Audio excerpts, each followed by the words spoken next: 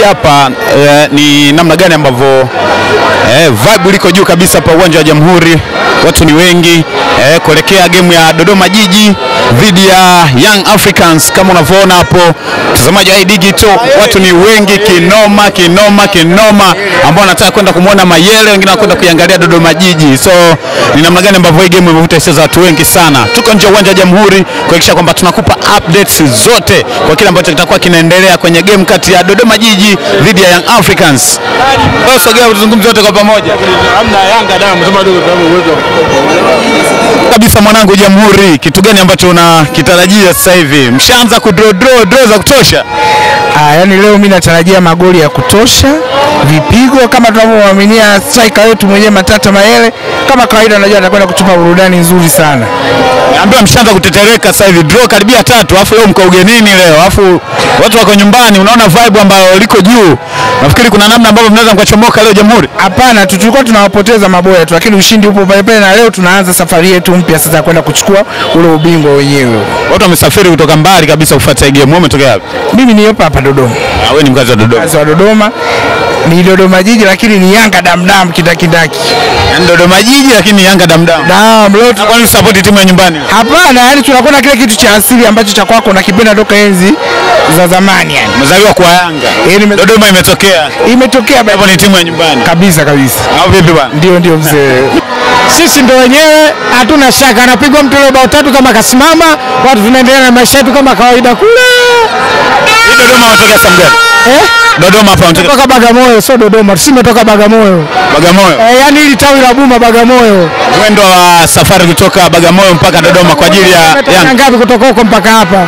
Karibu ni takriban kilomita 400 na kitu. Yaani kwa sababu mnajiamini kwamba ndio mnabeba. Eh, Inatokea leo mnapoteza mbele Dodoma Jiji inakuwaje? Mwendo kutoka hapa hadi Bagamoyo sio mrefu sana. mno kwa jinsi tulivyokuwa tumejipanga, ni vigumu mno. Kwa uhakika. Eh, yani uhakika dakika 90 zitamua lakini uhakika kama kawaida, Sana sana nani? Mayele. kama kawaida mzee wa kugonga, Ah bwana bado nusu saa tu tuka, tukaone kama tatusema. wala haina shida. Tuombe tu dakika uh, saa kumi ifike, mbungi ianze. Draw nyingi lakini draw kama tatu. Ina shaka, kocha keshalifanyia kazi kila kitu, safa ulinzi pale mbele kwa safi kabisa ya ushambuliaji. Au sio? Eh, Dada zungumza kitu bwana kuelekea kwenye game bado nusu saa. Eh, yani mpira sisi tunashinda, yaani hapa ndo tunapochukulia sisi ubingwa, yaani sisi hatushindi hapa tunashinda. Au sio? Eh, yani sisi tunashinda, sisi tuna uhakika. Na uhakika kati msha msha mshazingua game kama tatu. Yaani kuzingua game tatu sio shida, afu kuzingua game tatu kwa dakika uangalie, tumefungwa hatujafungwa game hata moja na hatutoka kuja kufungwa, na hakuna timu ambayo inataka tufunga sisi. Simba anasema anawasogelea kimya kimya. hawezi kutusogelea na hawezi, yaani kwanza ubingwa kuchukua. Njoo njoo njoo njoo, na njonge njonge njonge njonge. Wanasogelea. ubingwa hawachukui, hawezi kusogea, hamna cha kusogea cha kitu gani wala, wewe achana nao.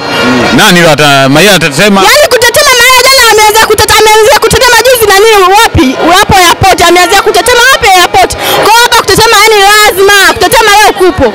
alivyoshuka tu akaanza kutetema. Eh, yani alivyoshuka pale salamu ya kwanza kwa mashabiki alianza ka ka ka ka ka